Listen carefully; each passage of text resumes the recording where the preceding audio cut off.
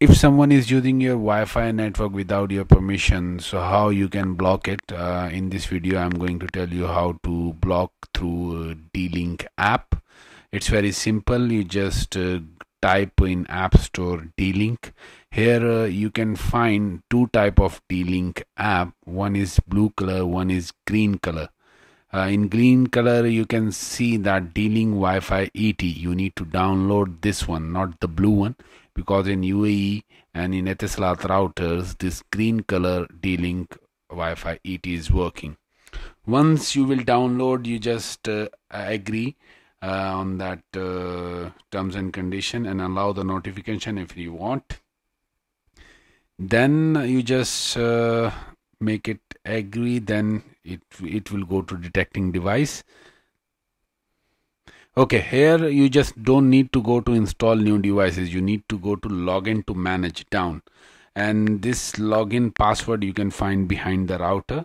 Uh, if you will see your router you find you uh, behind you can find that under the admin you can find that password. Once you will put that password you will log in this one. Here I log in and uh, you need to go to settings bar and you need to go to Wi-Fi. If you want to change Wi-Fi name and password you can change Wi-Fi name and password here. Uh, if you don't want to change any Wi-Fi name and password so leave it as it is. Here I'm telling you how to change Wi-Fi name and password.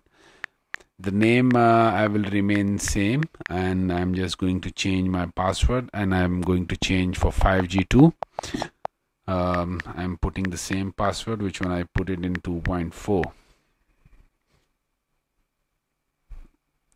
here if you want to use uh, one name uh, 2.4 and 5 gigahertz for both so use 2.4 gigahertz and 5 gigahertz. If you want to make separate just make it separate. In my case I am putting separate. Just make it save on the top. And uh, yeah their uh, device will get restart. After restart you just connect back again.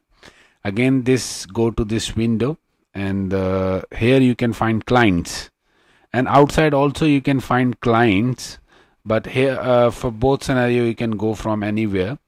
Uh, suppose realme c11 i don't know who is they so i'm going to block this one go back and save it. That's it.